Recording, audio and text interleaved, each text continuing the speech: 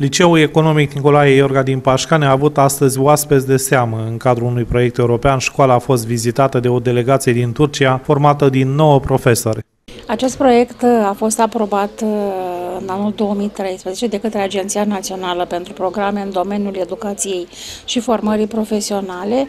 Uh, proiectul, după cum uh, ați aflat și denumirea, uh, să ne împărtășim problemele, vizează soluționarea problemelor pe care le au copiii proveniți din familii monoparentale sau al căror părinți sunt plecați la muncă în străinătate și ei sunt lăsați în grija bunicilor. Proiectul a debutat cu prima întâlnire de proiect de la Iași, de la Casa Corpului Didactic, Uh, din noiembrie anul trecut, după care au urmat seziuni de formare a profesorilor din toate școlile membre ale consorțiului Comenius Regio în perioada decembrie-februarie 2014, pentru ca profesorii formați să poată forma la rândul lor alți profesori care să fie antrenorii uh, elevilor cu probleme uh, speciale. Asta este scopul proiectului.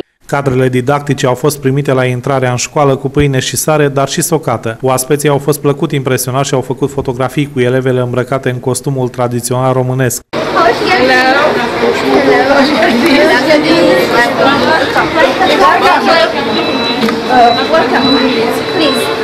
This is our official welcome, which is done with salt and bread. You can have salt and bread. Spuneți hocam. Spuneți că ea e în engleză, ea e profesoară de engleză. Ei nu știu, nu știu cine este până acum.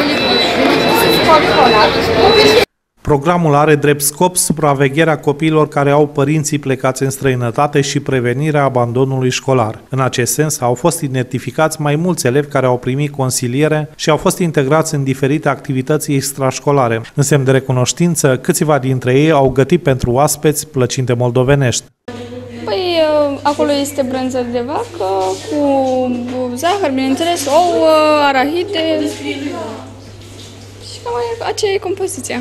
De asemenea, în cursul zilei de astăzi, delegația a vizitat și fabrica de drojde din Pașcani. Oamenii au fost surprinși de ospitalitatea cu care au fost întâmpinați. Ayrıca, în general, au găsit, au fost plăcut impresionați de ceea ce au văzut atât în Iași cât și în Pașcani. Au fost impresionați de asemenea de fabrica de drojdie, iar aici au avut o surpriză reală în modul în care au fost primiți cu pâine și sare de domnul director și de colectivul liceului, motiv pentru care ține să le mulțumesc foarte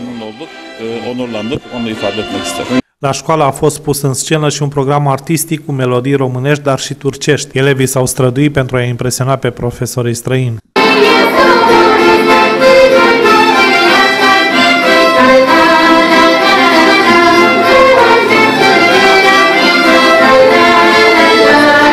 Menționăm că proiectul a început în anul 2013 și este realizat în parteneria cu mai multe instituții publice și de învățământ din județul Iași.